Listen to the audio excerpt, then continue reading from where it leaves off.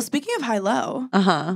I I dated a football player in college who was like on ESPN and I was kind of just like always supporting him and I was a tennis player. Like I had Mhm. my own career in college, but it was kind Of, he was he was important. We broke up cuz we had very different views on life. And then low, I fucked the mascot. Oh wow! Wait, he- in, while in the mascot suit. Hey everybody! so cute and cozy. Like a little library chat. Um, this is our first live recording we've done for High Low with EmRata, so this is um, a big deal. And um, I'm gonna do a little intro now for our fabulous guest, Hannah Berner, who um, AK is known as some comedian girl. We'll get into that in a little bit. Um, but I had the pleasure of seeing her stand up. Um, what was that? Two weeks ago. Yeah. And I was like, this is the perfect guest. Um, You're so too sweet. Hannah's an amazing comedian. Um, she's in the hot seat today, but she normally puts other people in the hot seat, which has made her um, a viral sensation on TikTok. It's how I got to know her. Should, who should tell the story of how we met first? You can start. Okay, Look at us. We go I was back. I was doing you know we we have like a love story I think at this point right. This is like our third date, or would you say second? It's like two and a half. Okay, two and a half because I felt like the internet connection almost qualified as a date. I, I just didn't know that you saw the internet connection because it was me just like having fun. Well, I got very stressed. Okay. So I was on um, Julia Fox's podcast Mhm. and we were talking about the whole thing of paying for the bill. And she, you did this amazing TikTok where you ask people, do you reach for the purse or not? Like, do you even pretend to reach for the purse or do you like just wait for the guy, whatever? And so I was bringing it up and I was like, some comedian girl on TikTok. Well, this comedian girl saw that and she was like, uh, excuse me, that's me. So my DMs started to blow up, and people were like, Emily's talking about you. Emily's talking about you. And you and Julia are kind of cultural icons in the girly pop community Thank you so and much. beyond. So I immediately was flattered, um, so honored. And I showed my husband, and he was like, You have to make a video in response. So I was like, I am some comedian girl, but also like my whole life I've wanted to be known as a comedian. So it really meant As I did opposed something to right. what? Just As just like that bitch. Okay. Word. Well, you've made it to some That annoying comedian girl. bitch. Yeah. But it- the fact that then you saw my response video, hmm I didn't really know if she saw, a couple of my friends saw and that was enough. They were like, that's really cool that she mentioned you. And there was a rumor that Emily might come to my comedy show. Yes. This is the first date, really. This is the first date. Yeah. Picked out my outfit. Are we gonna make out today? I think we will probably by the end of this is gonna get yeah. weird. So Mhm. everybody's like, whoa, buckle up. so people have told me that certain people would come to my comedy shows, but they've always been like busy. I just wasn't gonna make a big thing out of it in my Mhm. head. And you stroll in just like so casual with your bestie from like Mhm. high school, right? Yes, yes. And we just start chatty Cathying. Mhm. And next thing I know, I'm like, some model girl came to my show Mm-hmm. and she's a vibe. And you stayed for the whole show. Do people normally leave? I don't know. You said You're like, If it was wow, and that was it, not only did she come, she also stayed. She supports other women in the arts, we like to say. I do. I do. I also was loving my beer. You got y'all were funny as well. I have to say, you're funny. You're funny. You're funny, bitch. It is funny. I noticed she followed me at the end of the show, so I was like, she waited. She Mhm. liked the content, It's and true. she was like, respect. well, we were talking about live shows because I was telling you that I have um, a issue, a mental health issue, where I think I would be good at stand up comedy, which is like it's a sickness. It's an actual sickness. I am seeking help. Um, but after watching you, I especially I was like having a bad episode because I was like, oh, she made that look so easy and great and natural. She also picks on people in the audience, so like you know she's really good It's because she's men. on her toes. I You're only like. come for the men. you yeah. really do come for the men. I actually wanted to talk to you about that. girl. I've been training my whole life for this moment. I feel like you really um I mean not to I hate when, you know, I feel like the girlies want to like not talk about men and then it's like the first thing we do. We're like, how do we how do we talk about men less? How are you planning on talking about men less? well, we have to be honest, men are such a big part of our lives, and the same Mm. extent that we might like hate them, we also love them. They are our biggest predators, but they're also like bring us so much joy. So it's a thin line, and it stresses Yes. us the fuck out. between love and hate. I was saying this the other day. Someone was like, "You clearly like don't hate men. You're out in these streets dating," and I was like, "Thank you." You're trying so hard to date women, and no one's letting you. Any volunteers? The Like, is there anyone? I've been, I'm really want it. trying. I'm like, hello, like where where are the girlies at? But it's okay. I also was thinking, tell me if I'm going too ahead, but like the concept of high low Hmm. made me really think about men. Oh, okay. Wow, she came with a bet. Girly, I was Deliver. preparing in the Uber. I was like, I'm like, okay, she happen? Did her scared. research. She has the cards. She I has did- them. I did some research, but I realized like high low men is such a real thing. Okay, let's go. Let's go. well, I feel like high, like I've wanted to date guys who maybe are like wealthy or guys who are really um successful, family money, Mhm. and they obviously have their demons. And then you date like the open mic comic who still lives with his parents. They're in Connecticut, so that's Mm. a plus. You don't know if it's like a nice neighborhood in Connecticut or not. But anyway, regardless, it's like you learn that what is high, what is low in terms of people, and what you think like quality is on paper is not always what brings you joy. snaps honestly it's really crazy um i've been thinking about this a lot because like gen z our favorite generation I identify as a. Gen Z. Mm, i do as well and that was honestly one of the things i was like great so we're the ladies who pretend like we're like those that's our demographic We're like we were born at the wrong the time it's like five years too early like it's confusing But I feel like Gen Zs really decenter men from their life. yeah they do Because But they're always talking about like get the bag girls because like men are never going to give you anything. So you got to just like at least secure the bag, get the dinner, get the blah, blah, blah, whatever. And I'm like, I don't know, because I'm out here in my 30s and I'm watching Mm-hmm. my friends who married for money Mhm. regret it. regret it because you know what? First of all, the economy is bad. So these men are losing their money. So the money, you just can't rely those on the money. crypto kings, they're no, shaking. Crypto kings, but also, honey, even the stock market, like they are shaking in their boots. My best friend Paige's mom, to give Mhm. credit, her favorite quote was if you marry for money, you will work for the rest of your life. Oof. How powerful is that? Mm. But I learned at a young age that like I always say that I joked about Disney teaches you that you should be attracted to the prince. You're like, actually, did you take notes during my set? Because that was a part of it. Disney. Did you connect I with am. it? I did. I Disney was less for me, but go ahead. I love. But I feel like uh, as millennial women, we grew up with Disney. There was that prince. He's definitely a narcissist and Mhm. takes up all the air in the room. And you think that's the guy that makes you feel successful to get the prince. That was like the story of every single movie. And then when you get the prince, sometimes you're like, wait, but he doesn't see me. I don't feel fulfilled. I'm not happy. He's kind of a dick. Mhm. And learning that the right man for you is not what society thinks is right, but it's who makes you feel seen and who makes you feel lit up and light and yourself. I once watched a documentary about um, Dr. Dre. Okay. Segue. Just follow me. Mhm. And his wife, they're now divorced, said, like, I'm his rock and he's the balloon.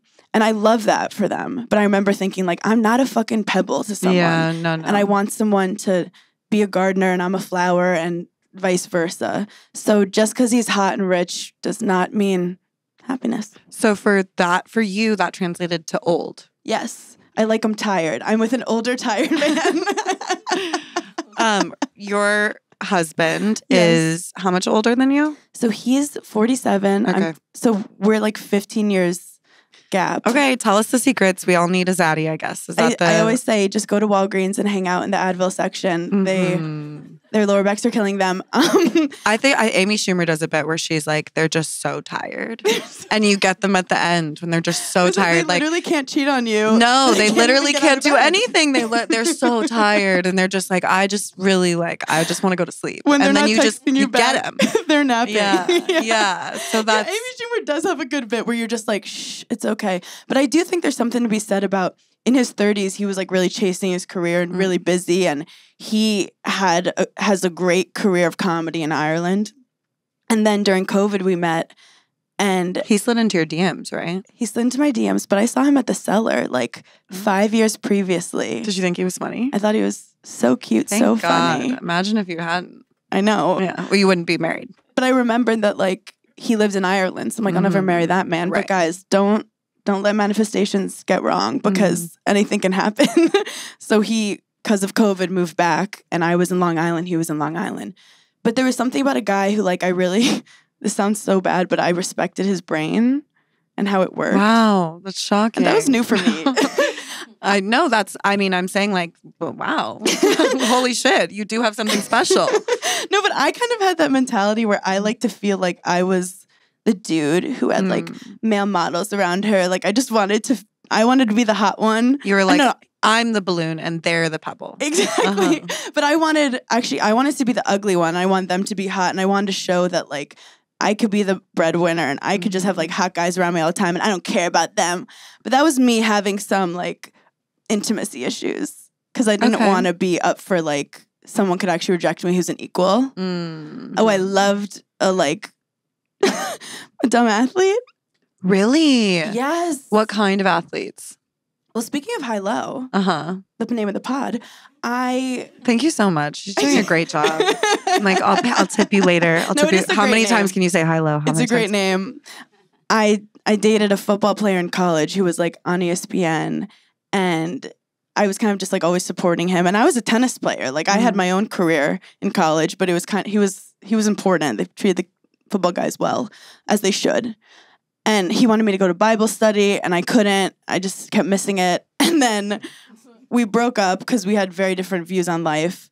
And then low, I fucked the mascot. Oh wow! And Wait, he- in, while in the mascot suit. No, Okay, but he wanted points to. are ta- docked I know that. it was a Points are full furry moment. Yeah, yeah, but it made me realize like he, the the mascot was so funny and like yeah, people didn't think it was like cool that I was walking around with this guy who wore a Bucky Badger suit all the time because I went to Wisconsin. But it made me realize like wait, life is about finding what you want, and I Mm-hmm. don't. And I started to care less about what other people thought because in relationships.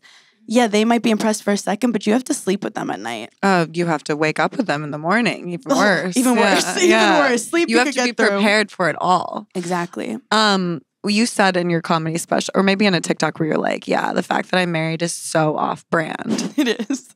People don't even know I'm married. really? I feel like you like talk about it and represent it. How In long have you guys been married? I do. It's like officially one year this week. Oh wow! Congrats. What are you guys Thank gonna do for your anniversary? I have two shows in Boston.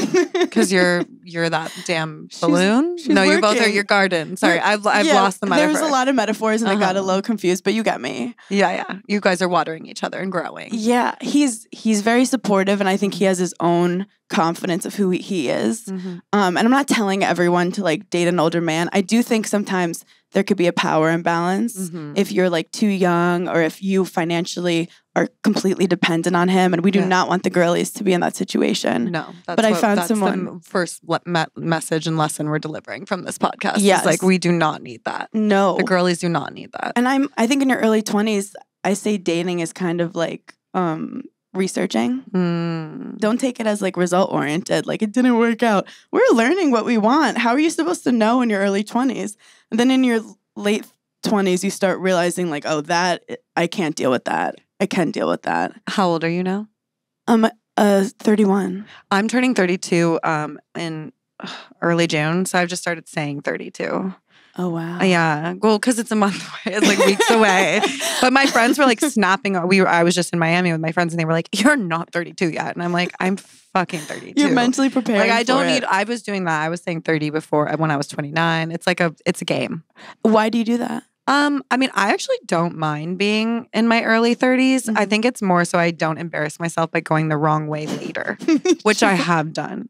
Like I have legit told people that I'm like younger than I am because I am that fried. But because of, Another illness. because of gigs, do you ever out. feel like they're looking for a certain age? You know, I did at one point. I don't know if I'm just delusional or Mhm. just don't care anymore. Um, where I'm just like, yeah, I'm the age I am, and like, thank God for Botox and like bangs, and like we're gonna just carry on. I mean, you know, the fact that you're not only beautiful, but then you pull off bangs is like a Oh, double whammy that this all the girlies are trying to handle I in mean, this moment. so everybody knows bangs is like a divorce breakup thing, and True. I didn't do it right away. I just want to say I didn't fucking do it right away. Okay, what I did instead was I got I would say 60 pounds of hair sewn into my head, which by the way, last week one of my besties finally said to me, like, you know, you know you looked crazy. Was your neck okay? No, no. I had hair down to my butt and I was like A mermaid. Leia. I was like not able to eat. I was so upset for my breakup, but I had so much hair. So much hair. And then I had to take it off um, for like shows and stuff because it was September. It was like back to reality.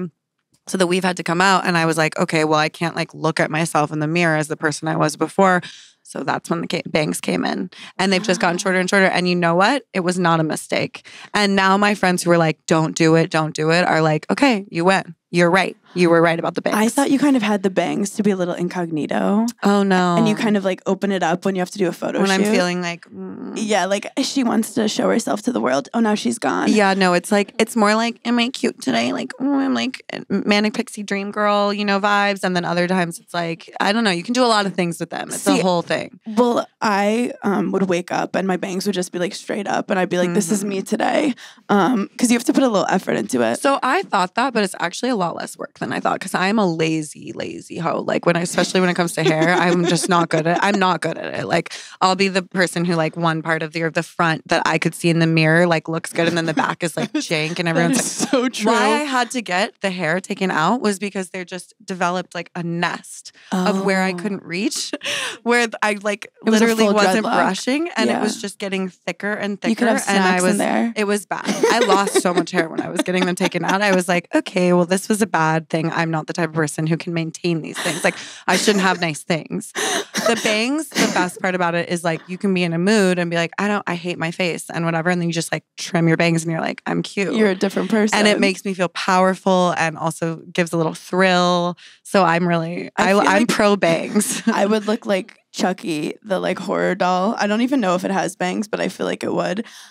I had bangs, a joke about bangs in my hour, and I remember Okay. walking off stage because I was aware that Emily was there, and I was like, I just made fun of bangs. But it's also there's so many worse things you could have done than Mhm. gotten insane extensions, and I love that your friends were supportive until they weren't. I don't know. You should see pictures. I don't know if there's that many things I could have done that were worse. Like I'm trying to think what else I could, I could have shaved my head, but like I wouldn't have done that. Like that's my money. Like I, I'm, you know, I have a hair contract. Like I'm not cutting my hair. That would have been the moment, though. no, it wouldn't. It would have been. I would have, you know, um, I, I You would have have been homeless. cheekbones. You no, do. just kidding. Mommy kidding. can't make I any money other- I anymore. have other, other sources of income, but I was like, I'm a single mom. I can't shave the head, so I just added hair. And again, um, it was really kind of a shocking moment because I want to be clear. I have the the San Diego friends who you met. Yeah. They were like, "You're a mermaid." They're like, "Put on anklets. You're so pretty. Oh my god, this much hair is so pretty. Walk like, oh, it moves when you walk." They loved it because they maybe have bad taste at the core. And it's okay. But my New York friend, who like Uh-huh. normally she's very chic, she like wears the row, she works at Tory Burch. Mhm. She just dropped that on me yesterday and she was like, We were all being nice. And I was like, Well, I want to tell you something. My San Diego friends weren't being nice. they believed the dream. They were right there with me. But I'm really glad you're here and I live in New York City and that like I have women like you in my life because otherwise, Lord only knows. I do have to say, if I'm not getting like gentle, honest bullied by my friends, Mhm. I don't trust them. If Oh, you're yeah. too nice to me, I think you hate me. oh, yeah. I'm like, do we have beef? Because you just complimented me. what do your friends um, call you out on? Oh, everything. I Mm. mean, I'm famous for not shaving my legs. Like my top leg is not shaven. Oh, yeah. I do that You're like very close to it, and she just like gagged. I I grew up as a tennis player. It's funny because I love all the stuff you write about your body. Because as an athlete, I had a very like different perspective on my body. Mm. It was always like just the engine that I used. Oh, I'm jealous. That's like what I've had to learn. It's interesting though. Like my mom, who is so beautiful, she like made a purpose to never tell me I was beautiful. Mm. And it was always, but it was other things that were attached to my ego. Am I smart? Am I kind? Am I winning all my tennis matches? So the same way you might be like, I'm ugly today, I'm worthless. I'd be like, I lost my tennis match today. Why should someone love me? Wow. So we're dealing with different battles out in these streets. So what should a mother do? What should one say? I'm I'm like I've been trying to figure that one out. Oh so God. We've, I've realized that you try to like undo the generational trauma that's happened to you, and sometimes you will like overdo it. And I'm the first one I go, I don't want to tell girls they're pretty when they're younger. And the second a little cute toddler comes in, I go, You look so pretty. And I'm like, Damn it. Mm. but I just, I'm such a believer in like the words you tell young girls really tell the story they're going to tell themselves of who they are. And like for to have more women in STEM and more athletes and that kind of stuff, it's just because people didn't tell them they could. Yeah.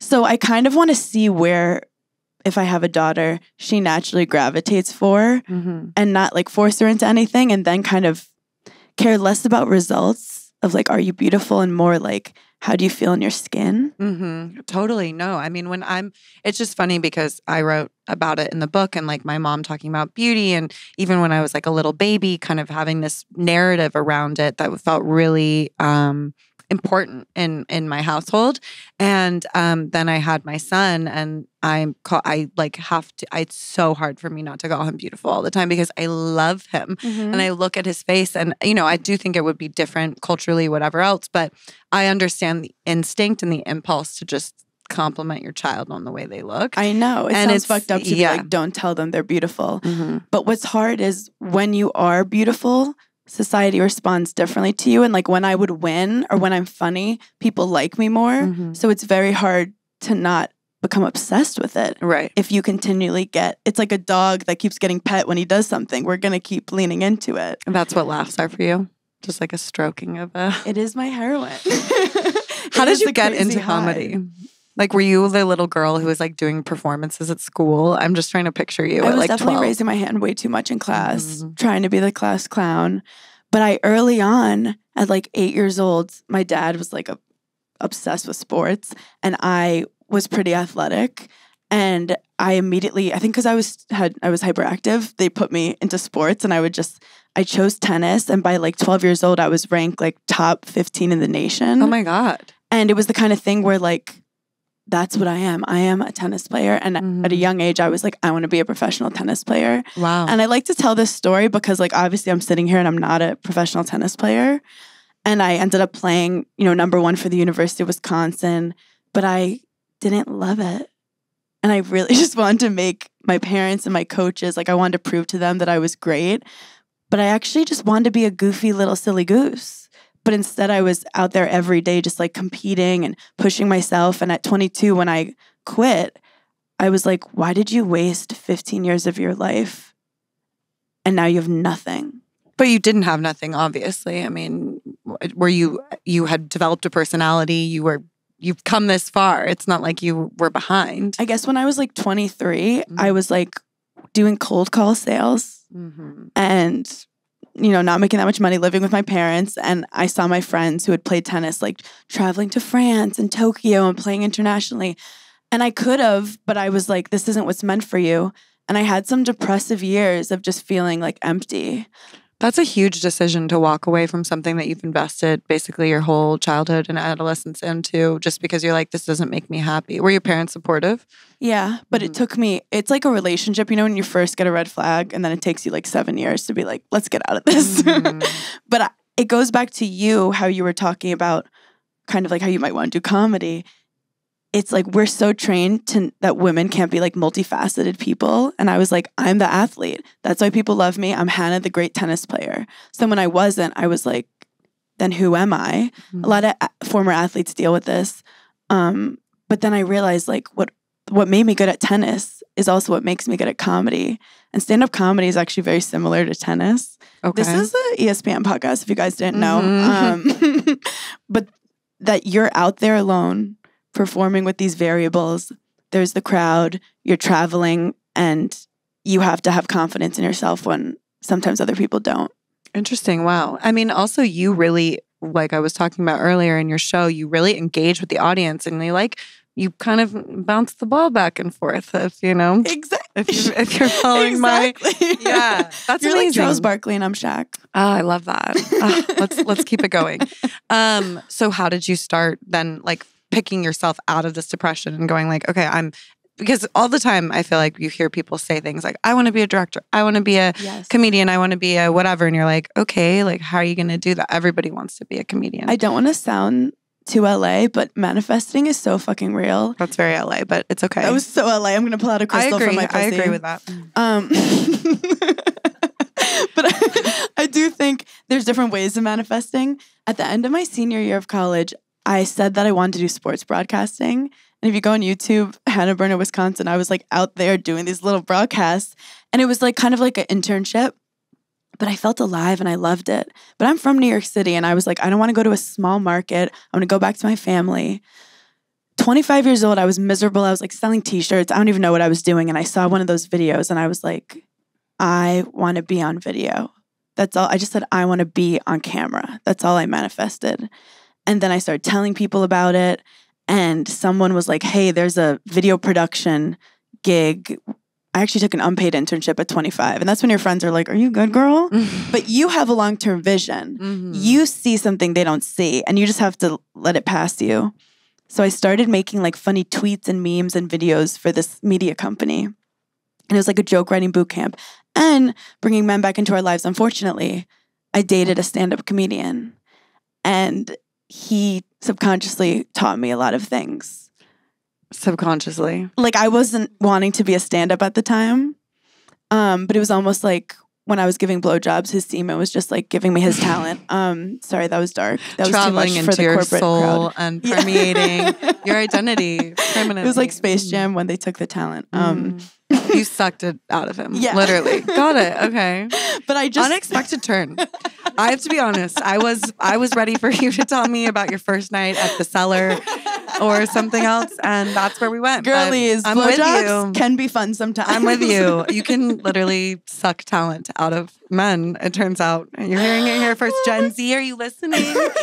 Here's a successful 30 year old comedian. the men are like, actually, I don't want blowjobs anymore. Um, like, we're good. But I saw his life where like he was performing at night, he was doing acting, he was doing podcasts during the day, and I'm like, you can make money just being yourself. Mm. And I grew up in New York where like all my friends were funny, we're all ball ball busted, so I Mhm. never thought like I'm the funniest. But I knew that I making people laugh, laughter was the one thing I always had in my life. No matter what horrible things were happening, laughter was always there. I could always find something to smile about. And I didn't have tennis, you can win and lose, jobs, you lose money. You can always smile and have a funny perspective on life. And um, I also love this is going to sound like a TED talk, but I love like disrupting male dominated spaces. Mm. So like tennis, I, when I trained, it was all men around me.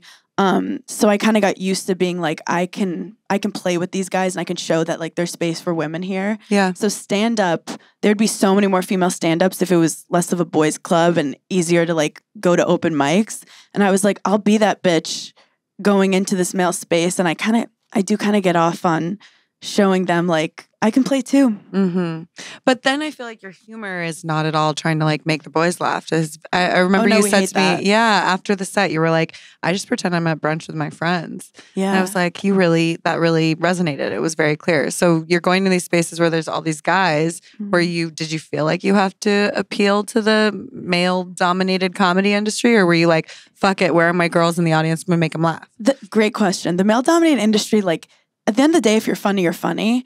And it is hard to go in front of just a ton of men and for them to laugh. But like my best friend is my dad. Like I love hanging out with guys and I, I I like to poke fun at them in a way that they don't expect.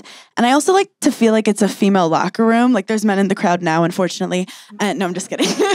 but I like them to let them in Mm-hmm. and see like girls are gross and silly and funny and you're welcome and it almost it's like educational. Instead of just saying fuck men it's like this is actually what we like to joke about and like you could be in on the joke if you want. You're like, I'm changing the world by talking about queefing.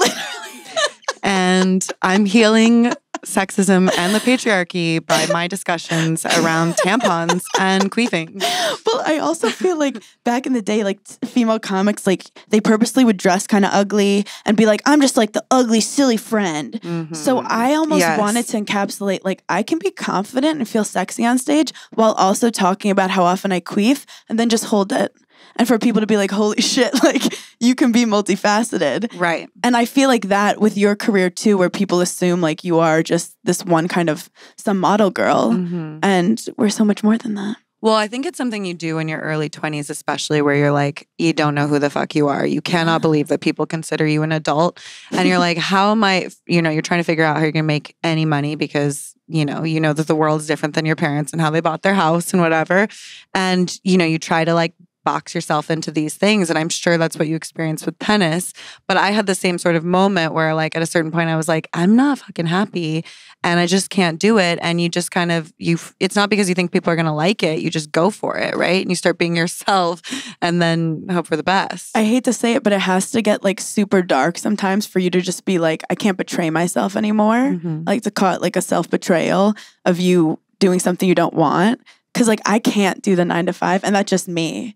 But I tried it. I really tried. Very Gen Z of you. I know. I'm so Gen Again, she identifies as Gen Z and she also follows through. it's true. Yeah. But I, I also feel like you, with careers, you can force only so much. And people are like, how do you get the balls to do what you do? It's so risky. And I'm like, no, it's risky for me to not do this because I Mhm. wouldn't be able to run away from depression, which you is talk dark. about mental health a lot, which is like not something that I feel like comedy people do that like later once they've made it, and then they're like, "Actually, I almost killed myself," and you're like, "Babe, you're doing "What?" this too early in your career. no, no, I like it because it feels really seamless and authentic in a way that sometimes it doesn't when like people choose a cause. True. Oh, you're so You know what I right. mean? Like once they start getting a lot of hate online, they're like, actually, I'm a bully because I have anxiety. Totally. They're like, and I, yeah, yeah, yeah. Um, so how do you? Why is that important to you, and like, how do you integrate that into what you're doing? Great question. I think I'm a very type A individual where growing up, it's like if you're successful, people love you more. And I always want people to think like I'm awesome and look up to me. And then I realize like the people I look up to, they're not perfect. And just because you have money or you have success or you have a family doesn't mean you have it all. So I kind of like to make one person feel less alone if they ever look at me and say like she's living this, you know, perfect life, she's chasing her dream and be like, Someone messaged me once, like, how does it feel like to have it all? A very successful person said that to me. Wow. And I was like, you mean anxiety and depression? and you start realizing, like, things happen to you. I know when you get more fame, people treat you differently, but it all matters just how you treat yourself. If you Mm. talk to yourself and treat yourself like shit, it doesn't matter what's hav- happening externally. Mhm. Do you feel that way? Oh my God, yeah, but it doesn't. It's a lifelong journey. Yeah, I had therapy today. Are you a therapy girly? I am. Okay. I used to go twice a week. Mhm. Liz is her name. She's actually around our age. I An don't know her exactly. Love her, Liz. she actually really um, got me through a lot. My mom was very sick at one point, Yeah. um, divorce. Uh, I wrote a book kind of like out of a lot of the conversations we had. She encouraged me to start writing. So, like, shout out Liz. Um, and yeah, I, I had a week of bad self talk. And it was like, it's so frustrating to kind of feel that, you know, uh, this what the mental health thing that I've heard and I really like is like it's not just this like straight line or even windy road. It's like you go in in circles and you Oh, come back around and then you find yourself, you know, pulling yourself out. But it's really frustrating for me sometimes because I feel like I'm a mom. I have had I've done a lot of the things that I kind of wanted to do in my life and then I still find myself talking to myself like I'm 15 or like I'm 21 and that really I get then it adds to this negative self-talk because I'm then like mad at myself for having those thoughts. yeah, then you're double So I'm self-talking, I'm negative self-talking on the negative self-talking and it's it's just such a mess. Once I heard Mm. that like the voices in your head are not you, Mhm. that blew my mind. Like it's like a coach that might have been mean to you, something your mom might have said accidentally that really hurt you. And those voices, you don't have to trust them. And once I decided that I could choose to be nice to myself, the whole world changed for me. What about with fame though and TikTok? I mean, I feel like you obviously have so many followers and so much attention and with that comes like negative comments. Mm-hmm. How do you handle those? So I, because I have a husband who's like lived some life, who has dealt with fame on his in his situation, he basically was like, "You you can't be in the comments anymore. Like there's a certain time in your career where it's fun and everyone's enjoying it, and then comments just hurt my creativity, and I like to call it emotional cutting. hmm Oh my God. Liz gave me that one as Does well. Liz talk about that? Yeah, she was like, if you Google yourself, that's cutting. Yeah. So I haven't Googled myself in like a year. Wow. But- I wish I could say the same. no, I'm not just saying it. It was for- like the Met was last week, okay? I know. Googled myself. well, I also feel like I had to get to some like dark places to yeah. know like I just don't fuck with that Right. anymore. You and also, like a very low. yeah, it's ego related where you can't trust like when people love you too much and you can't trust when they hate you too much because they don't actually know who you are at all. Mhm. I know I heard you take a big breath there. No, I mean it's so true. It kind of goes back to what you were saying about your parents and um, like accomplishing things as a form of love, and like that what your output is is how much you deserve love. Yeah. And then if you do that on a scale of the internet and fame, it can be really dangerous. Especially game. when I'm trying to come up with the next funny video. If in my head I'm thinking what user 72 said and I feel like I'm actually not going to post it, that just hurts me. yeah, So I every now and then I get cocky and I'm like in the comments. And for people who are like, oh, I don't have millions of TikTok followers, we're all going viral nowadays. So everyone's Mhm. experienced that video that goes viral. The next thing you know, you're like, why are they turning on me? I didn't do anything to anyone. I don't like this. Mhm. But I do think once you realize it's like a car crash, you can stop and watch it. But you also don't have to. And once I realized you don't have to watch the car crash, I was like, it gave me power. And I, I want to be long term in this industry. And I'm a sensitive little bitch. Like, Mhm. I feel everything. So I know some people might be tougher in that way. But in my way, like, what's the pro of reading comments to see people if I got any compliments? right. No, I just want to. If one person, this is, I'm not Mother Teresa, but like if my video made like one person laugh or feel relatable, I'm like, cool.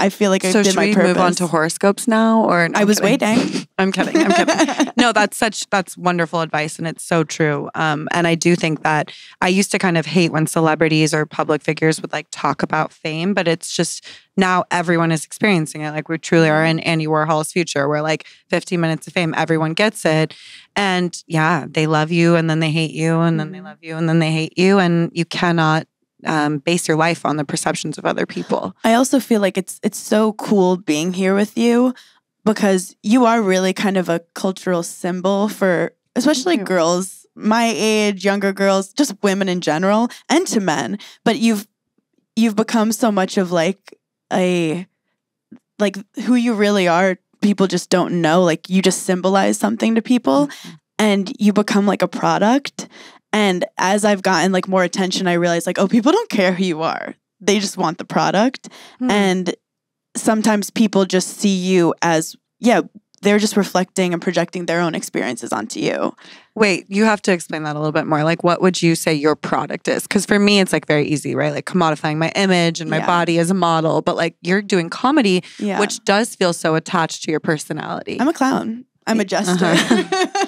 i do think like sometimes people will see me in the street and you know like i'm like you know talking to my mom about something and like they see me and i think they immediately want me to like make them laugh or like do a joke and like i am actually pretty similar on and off stage i i like to think um but it's funny to see people just they always want you're like dance, monkey, Yeah, dance. literally it's always like you're that like, I'm not, I'm on. and I want to bring joy to people, but I'll be like picking my nose like Mm. at the subway stop, and I I'm really I- put I'm performing for you, and then there's like the Hannah who's like I'm just sitting here worrying about you know what I could possibly do wrong in my future. right, right. I mean, so what you're saying is it's the comedy. People are like, be funny. it's it's a lot of the comedy, and Mm. but I mean it's it's amazing and so cool, but it's interesting how like people do see you as you know the product on their FYP, and Mhm. they don't realize like people are again as some com- some comedy girl exactly to bring it full circle. But some I- comedy girl. You're so right, but it took me so much time to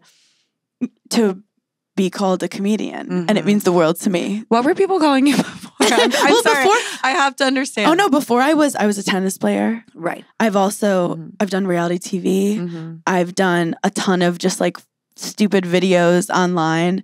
Um, and it, Which I feel like the stupid videos are genius, though. I mean, some of the first stuff I saw of you was not your stand up. It was you interviewing people, asking guys, like, what were some of the questions that I love, like about periods or about Mhm. like, where is the like scary stuff? Or has a woman ever faked an orgasm with you? I like to talk about pooping. I like to talk Uh-huh. about farting. I feel like I have this. It's a superpower and kind of cringy, but that I it takes a lot for me to be embarrassed. Like I'll take the risk, and I kind of like, man, that's me. I'm silly. I'm a silly goose. And I think with that, I want to say things that like maybe some girls are afraid to say. Mhm. And because like, yeah, I farted on men going down on me before. Mhm. Yes, I've like had horrible poop situations. Um, I have a nervous poop problem. And I'm saying that obviously it's embarrassing for me, but like who knows who's listening to this pod who's like, wait, I'm not gross. Because you're not. Right. Well, and also it's it's fucking funny. Wait, so EmRata, do you poop? I do poop. I also have a nervous pooping situation actually. Um, what's the what's the thing on TikTok where it's like it, you're a hot girl if you have IBS, right?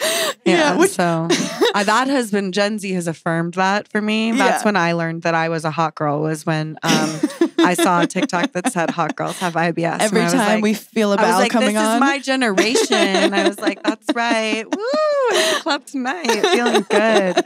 No, but seriously, they they're so much better about that kind of like self-deprecating honesty Mm-hmm. that I think comes out of like you know a reaction to what we grew up with as millennials which is like oversaturated overfiltered everything's perfect tiny little seconds of everything. And you know they were like no no no no i immediately know how to see through that. We grew up with the internet whatever this is gen z and they're just interested in like honesty. And it's like i'm so glad that tiktok exists And isn't it actually like super attractive when someone is just like super comfortable and honest with who they are? Like I think that's so much more attractive than someone who you can tell is like trying to be something they're not. yes or just you know the aspirational thing it's like it's just Yeah. not real you I also feel like how are we going to fight the patriarchy if we have to run to Starbucks every time we have to poop? Like it's just there's no competition. wait so are we supposed to poop on the street no, we have to poop in his apartment like while he's there, Got door it, open. got it. I was like, so where, which level are we going to right away? Or I just want the girls like to Mm. not be nervous about things that like for example, I don't always shave my legs and stuff Mm. and I feel like how are we going to compete with dudes who like don't have to worry about that stuff and we're always worrying about it. Obviously, I do like my legs shaven and stuff like that. yeah, But I guess I now I have this voice and girls are listening to me and I Mhm. try to think what I would say to the insecure girl growing up who thinks she has to be perfect in so many ways. no, this podcast has a like very young female um, listenership, and it's been really interesting because we get people sending in voice notes, and then just like people come up to me on the street in New York and will ask me about like sex and dating in, in a way that totally nobody would have done that to EmRata before. You know what I mean? It was different. And they listened to the podcast and like we did an episode about sex on the first date. And so many girls were just like, I just like, like I would ne- I could never get an orgasm from sex on the first date. And I was like, yes, that is very millennials? that is normal, you know, but like nobody talked about that before. It was like you have to like sex, you have to like even when the boys aren't delivering, you know? So or now at least the girl all your friends are coming all the time Yeah. and you just like haven't met the right guy yet. I have to say, I do have some friends who I'm like, what the fuck? What's going on down there? They're like, well, I, of course, in the first five minutes, and I'm like, who are you? I'm like, what do you do and how? Because what the fuck? No, I'm calling their asses out right now. I'm like, you are a detriment to fem- feminism. But do you agree with orgasms? It like either happens in the first five minutes or like seven business days. Like it's Yeah, I go, I go seven business days. Yeah. Pretty much as like a huge, that's like the norm. And some girls I think are more confident, and easy with it. Where sometimes like yeah, I need to have like the moon and Jupiter. I Mhm. need Oh, like totally. the pillow has to be the perfect temperature. Oh my God. Yeah. And then if it goes on too long, then you start thinking about why is it going on so long? It's like a whole. and then yeah. we're faking it. yeah, but it's I just think that it's so important for women. Like the pooping is leading to safer sex, better sex, like uh, you know the conversations about that kind of stuff that are kind of like haha funny. We sh- women should be able to be gross. It also Yeah. leads to like real life protection, which is so important. And I I think that's the part of it that like maybe people don't always understand. Like if you're interviewing women on the street about, you know, how many times they faked an orgasm, like you're opening up a conversation that will lead to more fulfilling relationships in general and like happier children and like a better society. Mhm. And maybe not everybody sees that right away, but like I think that's the beautiful thing about comedy. And again, why I'm going to start doing stand up.